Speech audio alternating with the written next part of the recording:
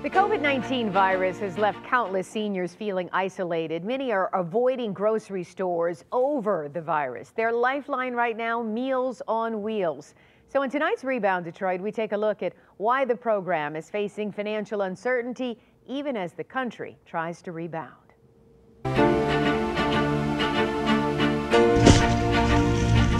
Every morning in spaces like this across the country, there is an organized race against the clock. Thousands of meals are loaded into cars, dispatched across cities, bound for senior citizens who need them, and the demand is growing. How bad has it gotten since the pandemic hit with people calling for help? We, we've had an unprecedented surge in demand.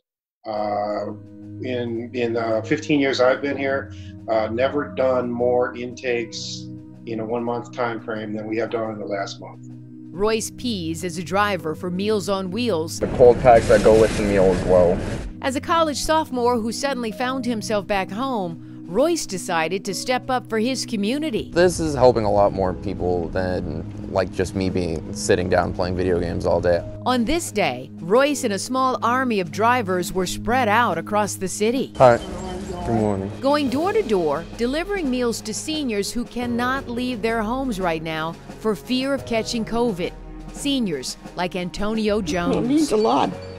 It does. I mean, I got somebody that I could talk to. Before the epidemic, this branch of Meals on Wheels was delivering 8,000 meals a day to low income families. Now they're delivering 12,000 meals a day. But here at home, along with the surge in demand, is a surge in people offering to help. It's everything from uh, uh, folks that are laid off to folks that are retired to folks doing it uh, on their lunch hour. Across the country, Meals on Wheels is willing to help anyone who truly cannot afford to eat. Many of the people that we serve are really on the cusp of not making it. And so if we can give them not only just a hot lunch and a sandwich, but you know here's a here's a box of prepackaged meals for you nationwide the program mainly operates on donations. Funding is disappearing almost as fast as they can deliver meals. But as the country rebounds programs like this will be more critical than ever. This is a good story.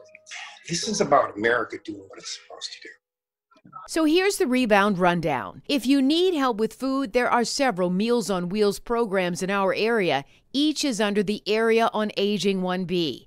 If you can volunteer by delivering or preparing meals, they need your help. Or you can donate monetarily to keep this vitally needed program going.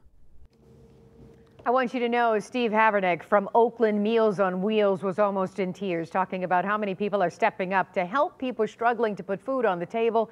So there is great need, yes, but people helping people will see us through this. The Rebound Detroit is our commitment to stories that will help you navigate these uncertain times. Email us at rebounddetroit at wxyz.com with your story ideas on how your communities are stepping up in this crisis. We are all in this together and we will rise again.